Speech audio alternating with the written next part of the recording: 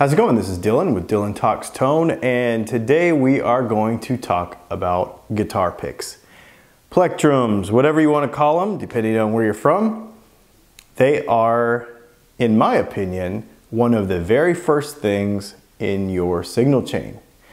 And you know, you might be thinking to yourself, well, you know, I, have been playing with a Fender Medium or a Jazz Teardrop or something all my life, and I've tried other picks and I just can't get used to anything. I feel you because that's exactly the way I have felt about guitar picks for a long time. The thing is, is that a lot of times I think we take for granted how important they really are. I would say that they are probably the second thing in our signal chain. I personally believe that the first thing is our left hand. But the second interaction or interface that we have with our instrument is our right hand. And so the plectrum that we use, um, our interaction with the strings is super important to how we're going to end up sounding. So, um, what we're going to do is on this Dylan Talks Tone episode, what I'd like to do is bring you into it. I'd like to make you a part of this experiment. Okay, so in our Dylan Talks Tone group on Facebook. You can go search for the Dylan Talks Tone group on Facebook and become a part of that group. And what I would like you to do is submit a video. If you are willing, I would like you to submit a video and tell me what pick you're using. Tell me why you use that pick. Is it just something that you have been in, you know, you've been using it all your life? Or is it, if do you have a reason for it? Um, and then what we're gonna do is for everybody that submits a video and maybe shows us themselves playing a clip of the style of music that they play. Um, you could just even do it with a you know iPhone camera in your bedroom or whatever, or your studio, no big deal. Um, but just play a little bit, show us why you use that pick, why you like it. And then, if you are willing to try something else, uh, maybe there's something that you'd like to try different. Maybe there's something that you'd like to uh, experiment with. Let me know because what I want to show you is we have asked five different companies to be a part of this experiment. I picked them specifically for a couple of reasons. Um, and the main one is that what I'm about to show you is not just the next evolution of the same pick that you've been playing all your life. These guys who own these companies have engineered these picks to really make a difference in how you sound. Now, obviously, that's a very subjective thing, but so sound, so you know, how the guitar sounds is a very subjective thing. The other thing that's very subjective but very important is how you interact with the guitar. So if you can change how you play because of the pick that you use, it's possible that maybe you'll be inspired to do something new. So let's look at uh, some of the choices that we've got here from five different companies.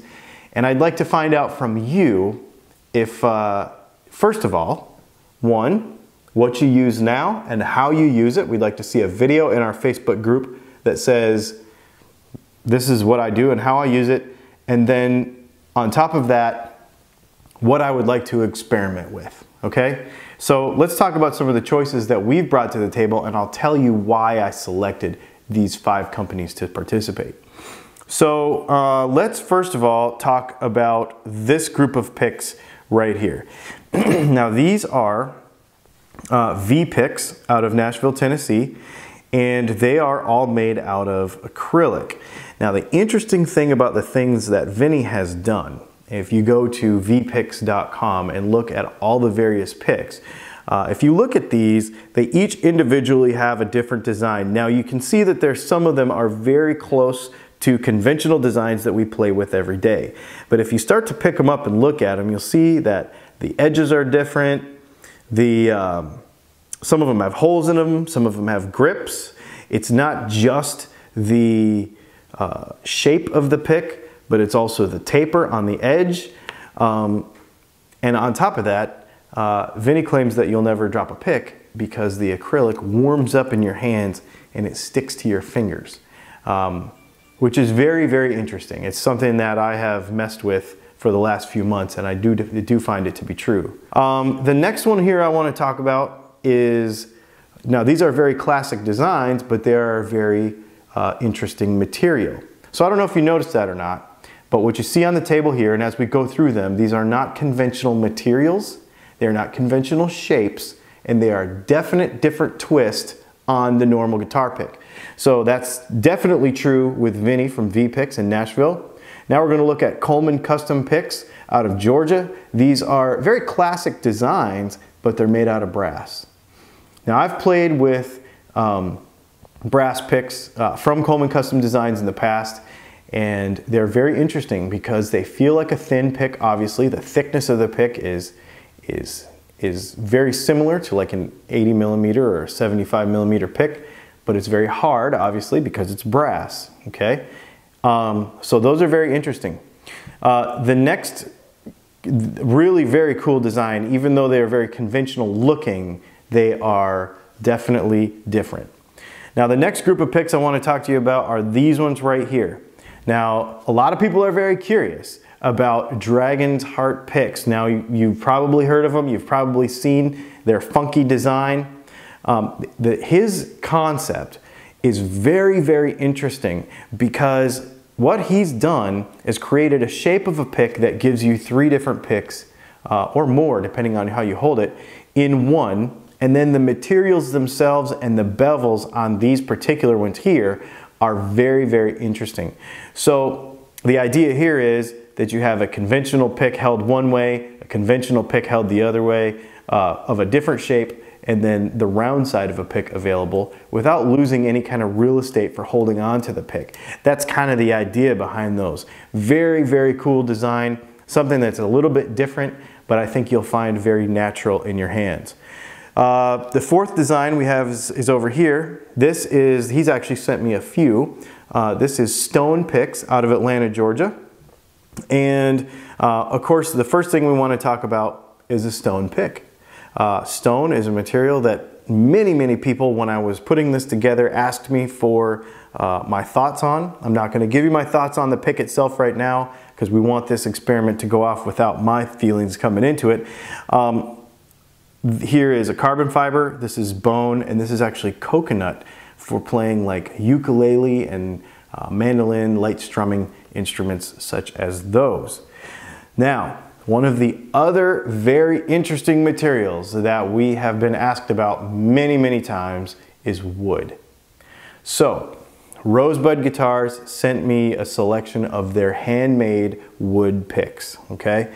And different shapes, different thicknesses. Look at this. This thing is absolutely humongous. And you might say to yourself, why in the world would I play with that thick of a pick? There are reasons. Uh, as we go through this, we will talk about it. It's very, very interesting.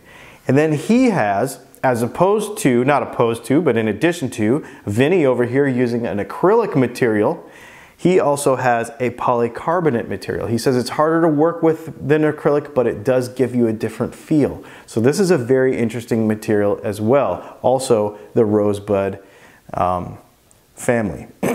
So, five different companies, a bunch of different thoughts on what a plectrum should be or what it could be. Um, it's the future of guitar picks. I mean, people are definitely putting some very interesting and cool and new ideas here. So, where do you come in? I want you to submit this video that we talked about earlier that tells me what you like about the pick that you use and why you choose it. If it's in this group, if it's any pick in the world, I don't care. Even if you make them yourself, it doesn't matter. I want to know why you use it. Secondly, and, and definitely show us, you know, make a little video. Tell us, tell us why. I would also like you to tell me what you would like to try. So what I want to do is I want to take a, uh, some of those videos. We want to go through them and those that are really excited about experimenting with something new and have participated in this, I'm going to actually take a selection of these picks and I'm going to send them to you. And I want to get your take on the future of guitar picks and where it's going. And I want you to tell us in our Dylan Talks Tone Facebook group uh, what you thought of these picks and be willing to submit a second video that gives you your thoughts. And even if it takes a week or so to play and start to really get to feel, because that's one of the things I learned uh, when starting off this experiment before I even ever brought this to you, was I thought I was going to hate them all because I'm a Fender medium guy. And it takes some time to take a pick that has a different shape or that has a different uh, thickness to it, and you say, oh, I'll never play with a pick that thick. Give it some time and learn uh, what the point of that pick is and what you're really trying to do with it, and you may find that you really enjoy it. So, here's what you do. You go to facebook.com, you search for the group Dylan Talks Tone, you add yourself to that group, you submit a video, and you say, This is what I like about the pick I'm using now, and this is why I choose it. Here, let me show you and then you tell me why you would like to experiment and what you would like to experiment with pick-wise. And maybe we will be, make you part of this experiment that we're, we're doing. My name is Dylan. This is Dylan Talks Tone, and this is a lot of fun. Plectrums are really cool, and if you allow yourself to really think about it as part of your signal chain, you change overdrive pedals, you change string gauges, you change everything else to try to find a different tone. But for some reason, we hold on to that pick that we've had for 20 years. It's time to change. I think you're really going to dig messing around with this experiment if you want to be a part of it.